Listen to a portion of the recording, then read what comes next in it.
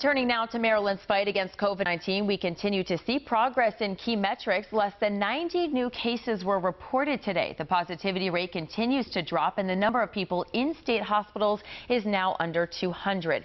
And here's a look at where Maryland stands with vaccinations. 71.5% of all adults in Maryland have now received at least one dose of the vaccine.